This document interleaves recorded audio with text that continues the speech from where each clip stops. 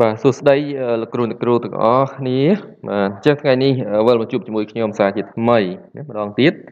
ដែលខ្ញុំនឹងធ្វើការបង្ហាញអំពីការវគ្គដែលយើងត្រូវកំណត់អំពីការបរិច្ឆេទដែលយើងនឹងផុតកំណត់ណាបាទយើងចង់ដឹងថាឥឡូវយើងកំណត់ឲ្យគាត់ថារយៈពេលធ្វើត្រឹមថ្ងៃទីប្រហែលយើងឈប់ទទួលហើយចាបើកាលណាយើងកំណត់រួចមានន័យថាអ្នកដែលចូលលើសពីថ្ងៃដែលយើងកំណត់ហ្នឹងគឺអត់អត់អាចចូលមកក្នុងការបំពេញនេះផ្ញើមកយើងបានទេ ចឹងរបៀបដែលចូលគឺយើងត្រូវចូលកន្លែងសញ្ញាមូលមូល3នេះបាទចូលកន្លែងសញ្ញាមូលមូល3ហ្នឹងហើយយើងយកពាក្យថា add on បាទយើងយកកន្លែងពាក្យថា add on នេះបាទរួចហើយយើងឃើញពាក្យនេះហើយណាបាទ form limiter ណាបាទយើងចុចកន្លែង form limiter ហើយបើសិនករណីវាអត់លោតមកទេ បាទលោកគ្រូគ្រូអាចចុចកន្លែង search នេះ search app នេះយើងដាក់ពាក្យថា form limiter ហ្នឹងទៅវានឹង ឃើញហើយបាទរួចហើយយើងចុចនៅលើហ្នឹងបាទចុច form limiter ហើយយើង install ណាយើងដំឡើងកម្មវិធីនឹងមកបាទ continue បាទនេះគឺឲ្យយើងរើស account របស់យើងទៀតនេះណា account Gmail របស់យើងបាទអញ្ចឹងបានថាត្រូវតែដូចគ្នាណា account Gmail ឲ្យយើងប្រកាសថាវាដូចគ្នា បាទដែលយើងកំពុងតែប្រើនេះឯងបាទបន្ទាប់មកទៀតគឺយើងអូសចុះមកខាងក្រោមណាយើងឃើញពាក្យថា allow បាទយើងចុចពី allow នឹងមក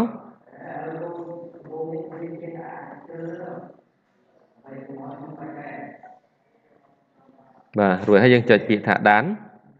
បាទអញ្ចឹងមានន័យថាយើង install បានហើយនេះឃើញទេ uninstall មានន័យថាយើងដំឡើងបានហើយបាទរួចហើយយើងចុចខ្វែង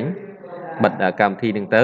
បាទអញ្ចឹងនេះណាករណីដែលលោកគ្រូគ្រូដំឡើងរួចវានឹង load បែបនេះហើយ ឬក៏បើយើងអត់ឃើញ load នឹងទេយើងចុចអាកន្លែងនេះ add on នេះ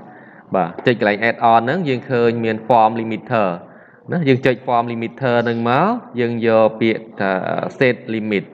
បាទយើងចុច set limit នោះវានឹងចេញផ្ទាំងហ្នឹងមកហើយណាបាទវានឹងចេញផ្ទាំងហ្នឹងមកហើយបាទតទៅពីចេញផ្ទាំងហ្នឹងគ្រូគ្រូចុចអាកន្លែងសញ្ញាព្រួយឡើងលើចុះក្រោមនេះបាទហើយយើងឃើញមាន date and time យើងមាន number of from respondent អញ្ចឹងមានន័យថា date and time នេះគឺមានន័យថាយើងកំណត់ការបច្ឆេទយើងឈប់ទទួលហើយ number of form response មានន័យថាកំណត់ចំនួនអ្នកដែលចូលទៅបំពេញចូលទៅឆ្លើយណាហើយយើងចង់បានប្រហែលអ្នក30អ្នកឬក៏50អ្នកអីចឹងបាទតែយើងអត់ខ្វល់ហើយហ្នឹងទេបាទយើងបើកឲ្យសិស្សយើងចូលទៅបំពេញណាតែយើងមកកំណត់អាកន្លែង date and time បាទពេលយើងចុចកន្លែង date and time វានឹងចេញមកបែបនេះហើយយើងចុចនៅលើអាកន្លែង select date នេះបាទយើងកំណត់យកថ្ងៃទីម៉ានឧ ទាហរណ៍ថាឥឡូវយើងកិច្ចការនេះយើងដាក់ថ្ងៃទី3យើងយើងឈប់ទទួលនៅថ្ងៃទី7យើងយើងចុចកន្លែងថ្ងៃទី7មកបាទហើយម៉ោងប្រហែលទៀតណាបាទម៉ោងប្រហែល AM ឬក៏ PM ឥឡូវកំណត់ថាម៉ោង5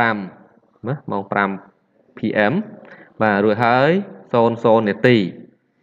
បាទណារួចហើយយើងចុចពាក្យថា set បាទ set រួចមានន័យថាវាអត់តាន់ផ្លូវការទេណាអត់តាន់ជោគជ័យទេ បើសិនលោកគ្រូគ្រូចុចខ្វែងត្រឹមហ្នឹងមានន័យថាអ្វីដែលយើងកំណត់ហ្នឹងគឺអត់តាន់បានសម្រេចទេអញ្ចឹងយើងត្រូវចុចអាកន្លែង save and enable listen ឃើញទេបាទយើងចុច save and enable listen